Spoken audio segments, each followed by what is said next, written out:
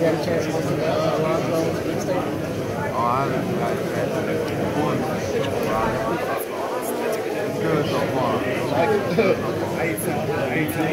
Some of out there putting the ride and uh, listen to the we get to. Uh, I might, but that's why I'm having to think about it. We might, we might do it on Wednesday uh, to a game with um, if it work out. I might continue to do it.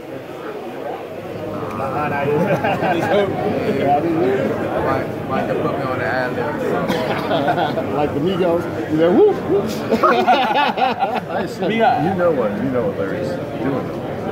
No, actually, uh, I, I've seen him when he was in opportunity to work with us, but I, I never caught an idea of what he was going to do. So you, you didn't make you swear to secrecy and all that. You never even saw it. I, I wouldn't give it up. I know. I'm not saying you would. Be after, after playing on this stage, how motivated are you to get back to get to the real game in the future years? Uh, that's what you dream of. That's what you dream of. That's definitely something that I want to work towards. Being an all-star, being an all-star for my team, being an all-star, and playing on Sunday. I think it's going to be really, really, really exciting uh, when I when I when I when I do play. How, how much easier is it to be of the whole city with your first experience? Kind of give you a future and make it easier versus being somewhere else. Yeah, I I think you guys are fans and support behind you. Uh, whether you do good or bad, whether you win or lose, you're always going to uh, just have a, like your fan base is going to be like that. How close do you think you are to that to that level, having now been around those guys and seen them be able to play in the young Sunday?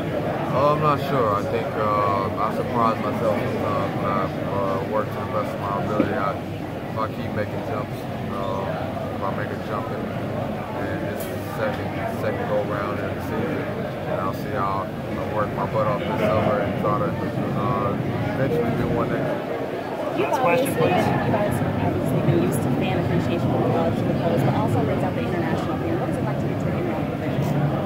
Oh, it's amazing. It's amazing to know that in this whole other world that it's, it's people that support you with uh, it's kids, uh, adults from uh, all over the country and other countries just knowing that uh, they, they love what you do on and off the basketball court. So it makes you have integrity. It makes you want to do all the right things. So because you know they're watching. Cool. Thanks, everybody.